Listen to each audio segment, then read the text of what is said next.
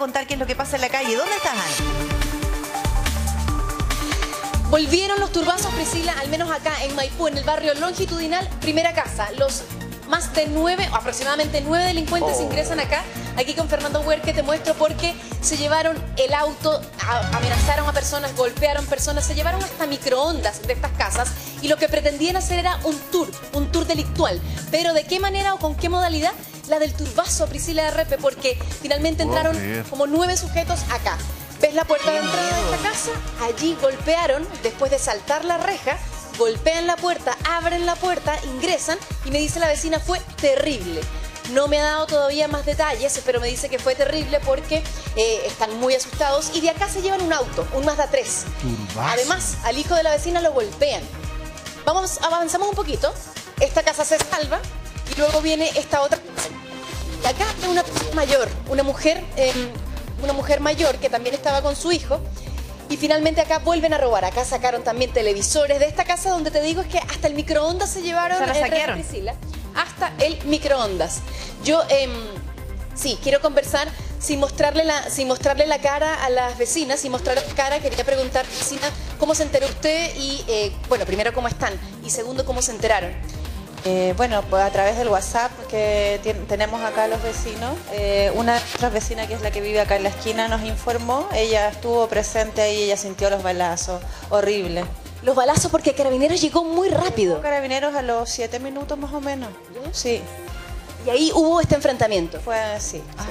Claro, voy a seguir, muchas gracias vecina, me voy a seguir moviendo porque hay más testimonios, pero carabineros me decían que llegaron en, en menos de cinco, cinco minutos, nos decía carabineros también, y por eso es que logran detener, afortunadamente, a tres, a tres de nueve delincuentes. Había un casquillo también que daba, que daba por allí, parece que ya lo movieron, ¿Anita? pero... Sí, lo sacaron, pero por lo menos acá se veían los casquillos. Te escucho, Repe, mientras voy avanzando con la otra vecina que te tengo. Ya, genial. Lo que pasa es que, estoy- mire, mire por favor, es un barrio residencial, un lindo barrio, se nota que los vecinos ahí comparten, se conocen, o sea, de es de mirar un poquito la dinámica. Incluso se ven eh, seguridad, por ejemplo, en la, en, la, en la reja, pero nada del otro mundo, que tú dijeras que acá hay una temperatura eh, delictual muy, muy importante. Eh, la dinámica de los hechos es lo, que, es lo que es increíble. Saltan la reja entonces, tocan la puerta e ingresan nueve personas en, en plan saqueo, digamos. Sí. Y alcanzan los vecinos a alertar a carabineros y después hay enfrentamientos con los delincuentes. Hubo intercambio de balas. Claro, hubo un enfrentamiento porque cuando entran a la primera casa, aparentemente la casa del medio, la que yo te dije que se salvó, esa casa activa o llama a carabineros o activa la alarma comunitaria también. Ya. Y es por eso que cuando se pasan a la segunda casa, Carabineros alcanza a llegar aparentemente en menos de cinco minutos y es donde comienza este enfrentamiento. Se fugan, parte de estos delincuentes se fugan en el auto que se robaron, en el Mazda, y andaban en otro auto que también tenían cargo por robo. Entonces así, en medio de, en medio de digamos, esa- ese enfrentamiento, se fugan unos y quedan detenidos tres repes. También te quería decir que hay vecinos que escucharon absolutamente todo y se tuvieron que lanzar al suelo sin su cara vecina, no se preocupe, que el compromiso es sin mostrarle la cara a los vecinos. ¿Qué fue lo que pasó o qué fue lo que escuchó usted? Yo escuché mucho ruido, me asomé a la ventana pues, de mi segundo piso y vi que llegó una patrulla de carabineros, se bajó el carabinero y vi el disparo. Y cuando sentí y vi el disparo yo me tiré al suelo por miedo. Claro, porque la ventana está cerca. Claro, y después vi a llegar muchos carabineros, que salieron los vecinos, no sabíamos bien qué pasaba, hasta que después ya como que se calmó un poco la cosa y ahí salimos y ahí nos dimos cuenta que habían robado a, los- a dos casas. Dos casas. ¿Y cuántos balazos escuchó más o menos? No, yo escuché uno, el que disparó el carabinero. ¿Y usted vio cuando Carabineros los redujo a estos tipos porque se llevaron a tres? No, porque fue un poco más allá y mi árbol no, no me dejaba ver, pero vi cuando corrió uno hacia el otro lado, que era un chico, tiene que haber sido un niño, era delgado y andaba completo de negro. Las características de la primera casa vecina, porque de ahí se llevaron el Mazda, el Mazda 3, y hay una señora que estaba con su hijo y que golpean a su hijo. ¿Se sabe más de eso? No, de eso yo no, no vi y tampoco lo sabía. Ya, pero viven allí hace muchos años, me imagino que acá todos se conocen en, en general. Sí, años, años acá y jamás había pasado esto. Activaron la alarma comunitaria porque después de esa casa se saltan otra y alguien activa la alarma. No sentí alarma, la verdad. Ya. Nada. pero Carabineros llegó muy, muy rápido. Vecina, le van a hablar Priscila y Rafa desde el estudio. Ya le dije que no le estamos mostrando su carita, pero ahí los está escuchando, chiquillos. Sí, mire, la verdad es que estamos escuchando su testimonio y es terrorífico, porque uno no sabe qué es lo que va a pasar, sobre todo después cuando hay intercambio de, de balas entre los delincuentes y carabineros, y ahí uno no sabe dónde terminan esas balas.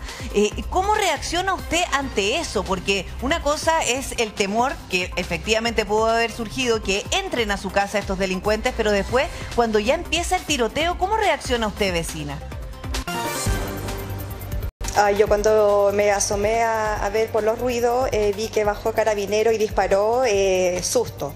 Me tiré al suelo. ¿Y usted estaba sola? ¿Había alguien más con usted en su casa, como también con la intención de protegerlo? Mi hija, Ya. ¿Qué ha alcanzado a hablar usted con su hija? ¿Le alcanzó a contar? ¿Su hija se dio cuenta? ¿Qué edad tiene al su suelo, hija? no sé, le gritó algo. Ella llegó cuando yo me tiré al, al suelo porque me dio miedo, dije un par de garabatos y, y ahí llegó ella. Vecinas, el barrio se ve un barrio muy bonito, residencial, tranquilo, ¿no? Porque no se ven rejas muy altas ni tanto, tantas puntas. Hay, obvio, pero no tanto. O sea, esto es más bien inédito. ¿A ustedes los sorprendió? Eh, sí, completamente, aquí es, es tranquilo. Nunca jamás había pasado esto, así que estamos todos súper asustados. Sí, ¿sabe qué pasa, vecina? Es que, mire, lo hemos hablado en otras oportunidades cuando los delincuentes ingresan a las casas. Que uno se preocupa de la casa cuando queda sola, cuando se va de vacaciones o sale un fin de semana, porque queda sola y pueden entrar delincuentes a robar. El tema es que a ellos ya les da lo mismo y que entren con las personas adentro de las casas es terrorífico. O sea que ya les dé lo mismo que si la casa está habitada o no. Y yo me imagino que eso también es parte de- de- del temor que tienen ho- hoy día ustedes después de lo que vivieron. Eh, claro, o sea, eh, el miedo es cuando, están, eh, cuando hay gente dentro de la casa. Porque cuando la casa está sola ya se pueden llevar todo, pero no corremos riesgo nosotros. Exacto. Pero ahora que se están entrando, eh, no, eh, todos muy asustados. Vecina, oiga, muchas gracias por conversar con nosotros. Eh, ¿Quién sabe de los vecinos que sufrieron el asalto más, más duro? Eh, ¿Están bien? ¿Les pasó algo? No, mira, gracias a Dios eh, estos tipos no les hicieron nada más que amenazas, Ya, pero ellos están bien. Vecina, muchas gracias. Yo sé que usted también está un poquito nerviosa, así que por eso le agradezco su testimonio. Repe, sobre la primera casa, allí golpean al hijo. Ya. Y eh, sobre la segunda casa, a la persona mayor, que también estaba con su hijo, un hombre como de 40 años, la amenazan y le dicen como que se quede tranquilo si no le vamos a hacer algo a ustedes, a su hijo y a su madre. Una amenaza doble, digamos, y los encierran en una pieza que es la persona mayor que yo te decía en la casa donde se llevaron hasta el microondas. Hay otro vecino, otro vecino que vio un poquito más también y eh, si me podrías contar también cómo fue el tema de los disparos que alcanzaste a ver de la detención de estos tipos. Eh, bueno, de- desde que escuché el disparo, eh, bueno, ahí me desperté y me asomé por la ventana. Y ahí ya estaban reduciendo a un tipo. Y ahí caché que lo están llevando a una patrulla. Y ahí ya em- empezamos a ver qué pasaba. Yo pensé que eh, había sido una encerrona, que venían persiguiendo a dos tipos que habían robado un auto. ¿no? Y bajamos a la calle y ahí cachamos que no. Había un portón afuera y la otra casa con el auto afuera, con una bicicleta, una tele en el suelo. Y ahí cachamos que habían entrado a robar a una casa. Sacaron la tele y allí fue donde llega Carabineros y por eso queda la tele en el suelo. Eh, claro, yo creo que en- al momento de arrancar se le escapó la tele, ahí estaba en el suelo destruida. Ahí, y después, claro, miré hacia la casa del vecino y me di cuenta de que, el, que la casa era un huracán adentro, o sea, no tenían nada. ¿Dieron vuelta a la casa? Sí, dieron vuelta a la casa, así que sí, le, le sacaron televisores, joyas, celulares, perfume. eh, Sí, bueno, ¿y le se robaron el sabe auto. cuánto rato estuvieron? Porque parece Es que que él era tu- actúan él era tu plan- amigo. ¿Cómo, cómo, disculpa? Hola, buenos días. No sabía que nos estaba escuchando. Muchas gracias por conversar con nosotros. Te preguntaba si tiene antecedentes de cuántos cuántos ratos estuvieron al interior del, del inmueble, porque tienen que haber actuado como verdadera jauría. Me- yo creo que entre las dos casas se han haber demorado sus 8 o 10 minutos. Porque rápido. primero han entrado a una casa, eh, llenaron el auto, yo creo, porque no, no he hablado con mi vecino. Porque le presté las primeras ayudas de pasarle un celular para que pudiera bloquear las cuentas, todo eso. Y bueno, de- desde esa casa pasaron a la segunda y ahí eh, llegó carabinero y ahí nosotros ya despertamos por el balazo. Pero yo creo que ese fue el tiempo estimado. Entre 8 o 10 minutitos se ¿Cuánto, demoraron, yo creo. ¿cuánto Estos arrancaron en el auto... Perdón, repete, escucho. No, no, no, sí, que- que quería preguntarle al vecino porque entran a dos casas de esta manera, con esta violencia, con esta brutalidad ya, y con esta desfachatez, que es peor, porque acá, acá no, no sé, no, no, no- no se Que les advierte un mismo trabajo gente o no. muy planificado, sino que más bien acá está fácil pasar la reja, pa, y después como no no, hay no les basta con una casa, Claro, se van, se van a la al lado. como- Entonces, yo no sé cómo les va a cómo crees tú que les va a cambiar, van a tener que adoptar medidas de seguridad porque estos son eh, crímenes o delitos No, que son son muy traumáticos. Súper traumáticos para el barrio. Eh, sí, la verdad es que fue bien traumático para. Con lo que conversé con los vecinos es que ellos los despertaron, con amenazándolo y todo. Pero claro, lo que me, a mí lo que me sorprendió es que hayan sido dos casas continuas. Yo creo que esto era una banda, claramente, ocho personas es una banda. Eh, yo creo que lo que pasó ahí es que ellos iban probando por casa. Ellos iban mirando así como esta casa Claro. sí, esta casa no, y así. O sea, a mí un vecino me decía que ellos se habían dado cuenta y que tenían videos de la calle de atrás, si no me equivoco, de cuando estos tipos van marcando, no sé si los mismos, pero en general los delincuentes van marcando casas. Les tiran cositas al patio o las marcan con rayitas en primera instancia. ¿Han también visto o escuchado algo de eso? Eh, eso se sabe hace mucho, es algo muy, Muy antiguo. como de la calle, por decirlo así. Se con- es, es de sí, claro, es de conocimiento de que la- los delincuentes marcan las casas. Pero claro, yo creo que acá, no sé si habrán estado marcadas las dos, pero fue algo que... ¿A qué hora fue esto, vecino? Yo, yo personalmente creo que fue mala suerte. A las 4 y media escuché el disparo, yo creo que haber sido a las 4.20, 4.15 por ahí Ya, que, que estaban Claro, o ejecutando sea, el asalto. Por la hora, lo, lo que usted dice, vecino, tiene toda la razón. Generalmente, las, generalmente, no siempre, pero las casas marcadas obedecen a casas que, por ejemplo, están desocupadas y el delincuente a través de ciertas marcas las deja anotadas para volver después o, o hace algún tipo de trampita para ver si se ha abierto la reja en, en- en Claro. algunos días. Pero eso manteniendo el cuidado que no haya nadie adentro. Si es que ahora les da lo Claro. mismo si está habitado o no. Esto, eh, eh, que el vecino hizo una cuestión súper... es que claro, fueron eh, ocho igual, pues entonces claro. eso les da el tiempo... Que usted dice, usted dice, usted dice algo súper eh, importante porque efectivamente eh, acá tiene que haber- tienen que haber visto una, entre comillas, oportunidad, se ponen todos de acuerdo, saltan en la casa Claro. que les resulta más fácil o ven que les puede resultar más fácil. El asunto es que vaya a saber uno en qué condiciones andaban que decidieron meterse en- también a la casa al lado, digamos. O sea, wow. Eh, Claro, es como e- si- eso es lo que causa duda, porque a- al hilo, de hecho, medio fue como que se sacó entre comillas, pero gracias a esa vecina ella dio aviso a carabineros y apareció la patrulla, porque si no yo creo que hubiesen seguido intentando casa por casa. Sí. Pero claro, acá hay que ver cuáles fueron los factores que, que escogieran esa casa para asaltarla y así uno poder eh, como poder reforzarla en, en- en sus propios hogares. Eso te iba a preguntar, porque yo entiendo, Repe Priscila, que las dos casas son mujeres con hijos, o sea, una mujer con su hijo. ¿E- ¿Ese es como el patrón común que pueden tener? Eh, claro, eh, bueno, eso no, no lo había tomado en cuenta, pero claro, ambas casas eh, vive el, el hijo con su madre y por las horas yo creo que igual también es un factor también que haya- se haya ejecutado el, el asalto. Claro, totalmente. Y bueno, lo que decían también los vecinos es que eh, tienen sus cámaras de seguridad, pero no todos, por lo menos en esta parte, porque hay muchas personas mayores, entonces no son tan ávidos con la tecnología. Y hay vías también especiales acá, o estamos muy cerca de vías de escape. Por ejemplo, si vamos a un lado tenemos eh, posibilidad de salir a Vespucio, y si vamos por Marta Osa también salimos a Longitudinal. Este barrio se llama Longitudinal.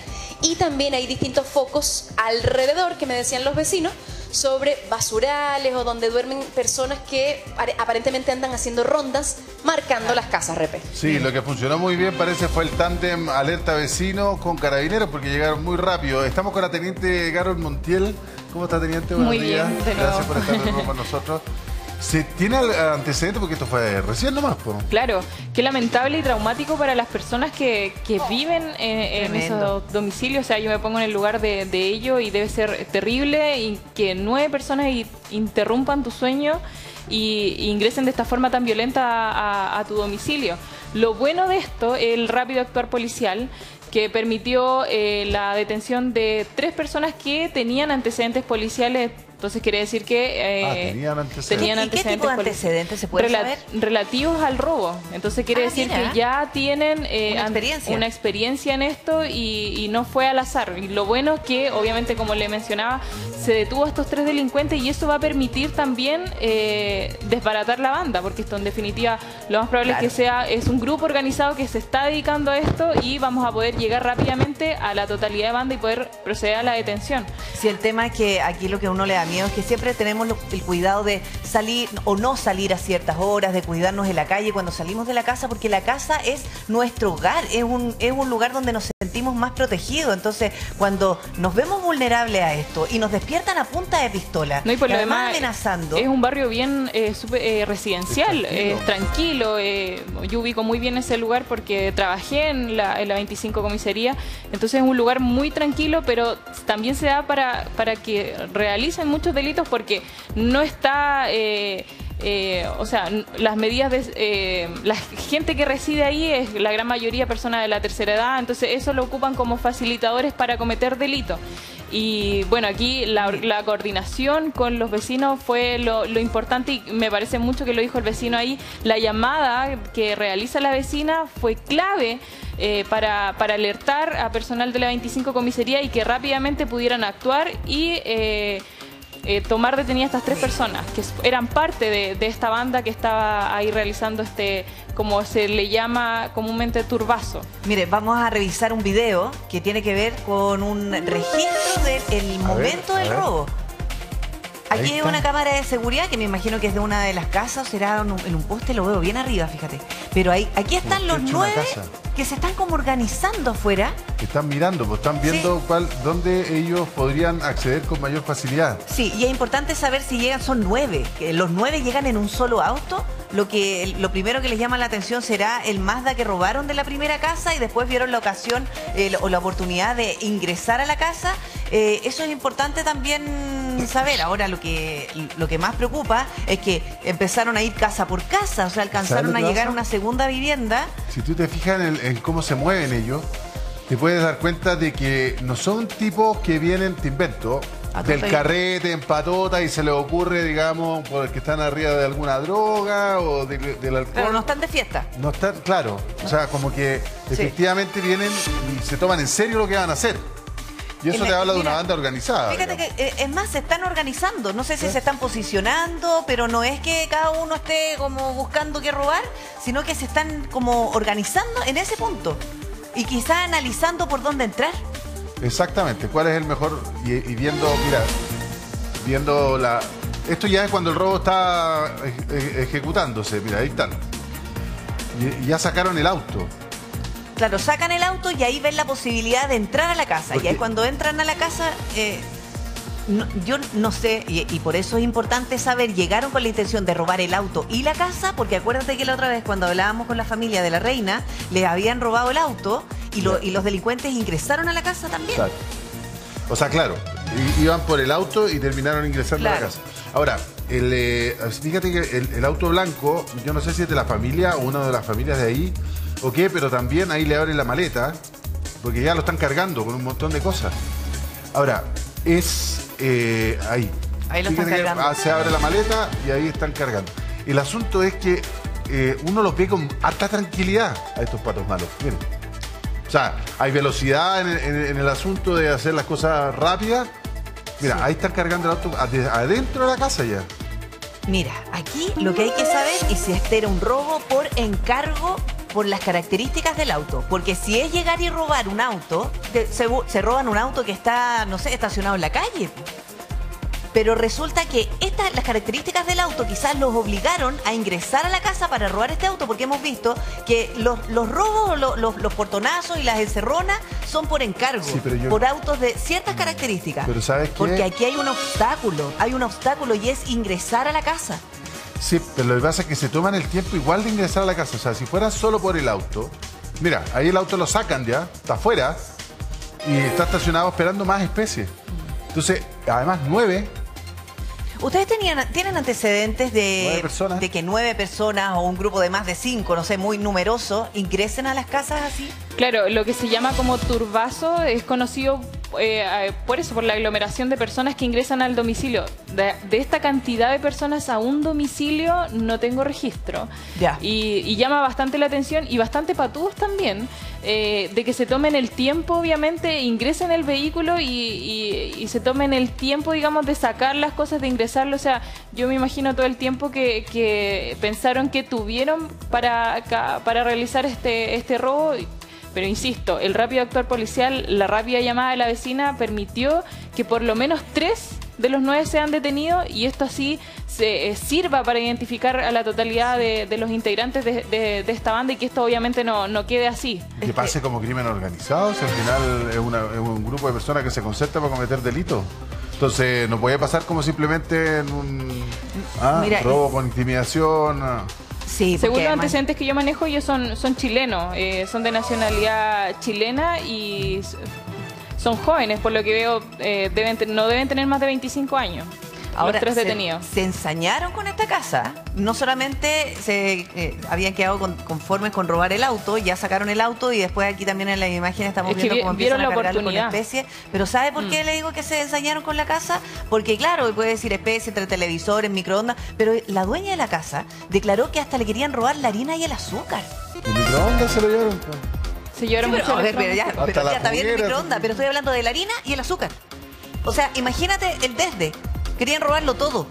Entonces, no sé si en- entre como que en, en- en la necesidad de robar, que, ¿cuál es la necesidad de llevarse eso?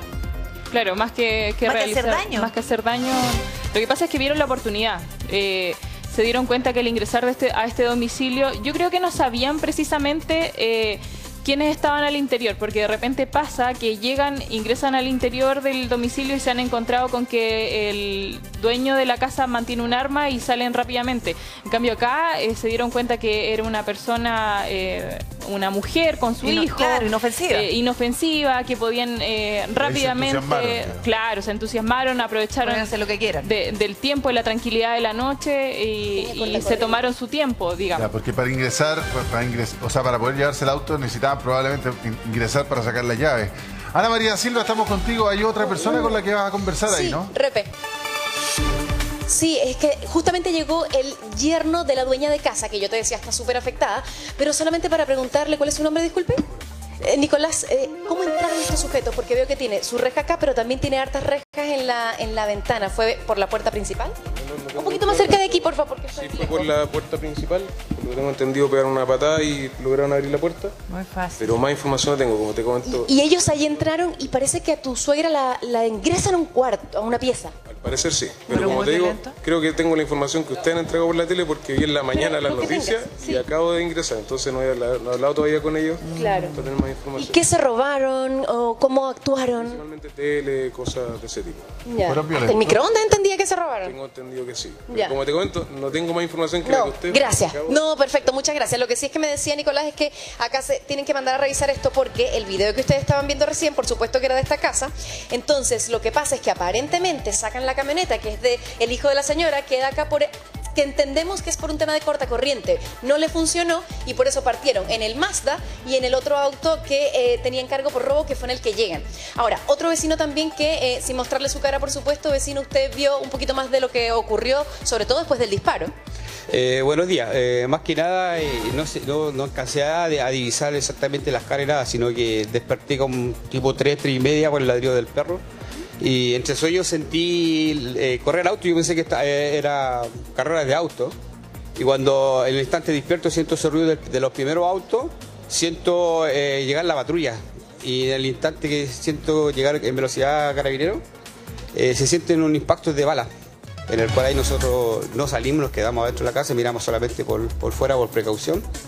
Y ya después que pasa más o menos un par de segundos, eh, nos asomamos a mirar y fue rápido el efectual de, de carabinero, así que ¿Qué vio cuando se asomaron? eh, carabinero estaba reduciendo a, a un muchacho alto, que lo tenía el esposado. Eh, no sé si, está, eh, si estaba herido con, con el intercambio de, de balacera que hubo, pero se veía que cogía del pie izquierdo.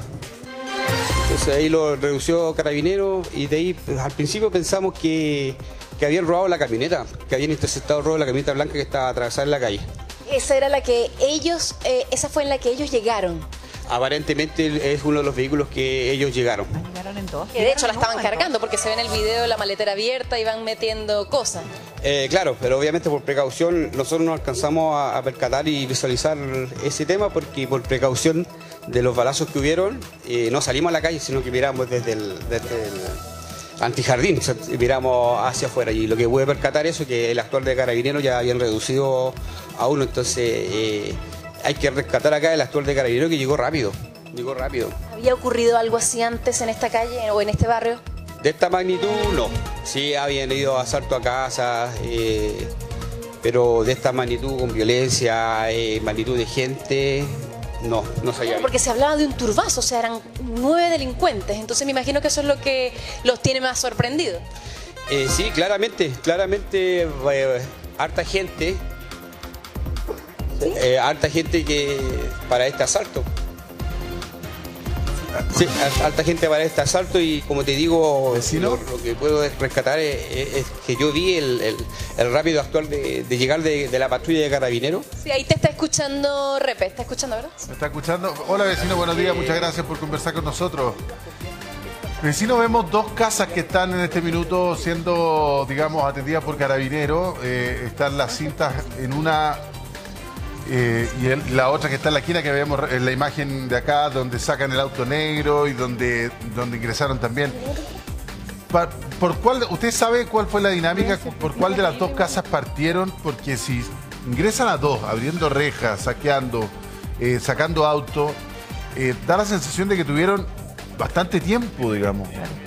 O se dividió el grupo. Claro, y ahí no se ven sabe cómo corriendo. fue?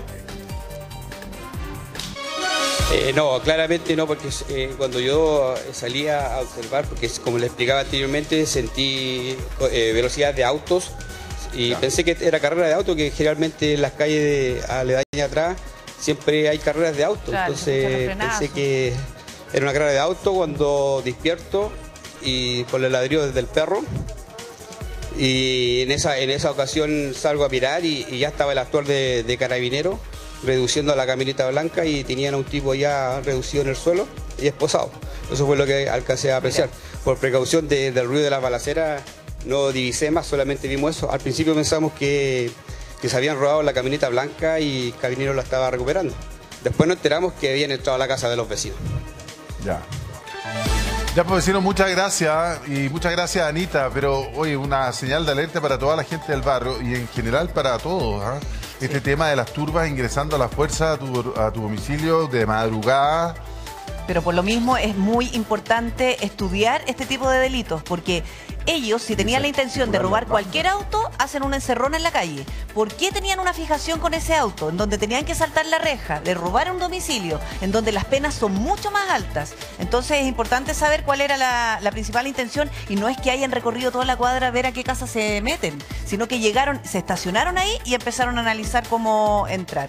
Definitivamente es- esto es traumático para cualquier barrio, no solamente para los vecinos afectados, sino que también aquí marca un antes y un después porque es muy probable que el dormir va, a- va a ser asalto. Ya va. O Claro, sea, van a levantar ¿cuándo más van a estar todo. tranquilos? Claro, exactamente, pero afortunadamente la coordinación que hay entre los vecinos eh, ayudó para que Carabineros llegara a tiempo. ¿Con qué te encontraste ahí, Ana? ¿Qué hay ahí abajo? Una mascarilla. Lo que pasa, Priscila, es que lo que se sabe de estos delincuentes es que al menos serían chilenos porque lo que dijo la señora es que hablaban absolutamente todos en eh, eh, como nosotros, digamos. Entonces, lo otro es que preguntamos si tenían el rostro cubierto o descubierto y lo que se entiende es que algunos estaban con mascarillas, mascarillas que se fueron cayendo acá. Ah. Mientras ocurre, primero, el llenado de los vehículos y segundo, el enfrentamiento con carabineros. Entonces quedaba no solo la, la vainilla, digamos, del, del- del disparo, sino también el, eh, las mascarillas. Hay más movimiento acá porque ya salió el fiscal. Vamos a ver si podemos conversar eh, con el coronel o con el, eh, Con el fiscal, Rosas que está. Eh, fiscal, ¿algún otro antecedente? Disculpe. Sí, dice, dice el fiscal Rosas que un segundo. Ya. Eh, porque el fiscal estaba justo en la otra casa, que es esta donde está él aquí, y aquí Sí. es donde se llevan el Mazda. Entonces, por eso también es súper clave entender qué fue lo que pasó allí, porque ella estaba muy, muy afectada. Sí. Me dijo, terrible, me dijo, y cerró la puerta. Pero da- Ana. da- dame unos segundos, Priscila, Sí, para sí, que el col co- eh, corte y conversamos con el fiscal Rosa. Sí, porque ahí está recibiendo más antecedentes. Es importante saber qué información ha recabado. Exacto con Cristian.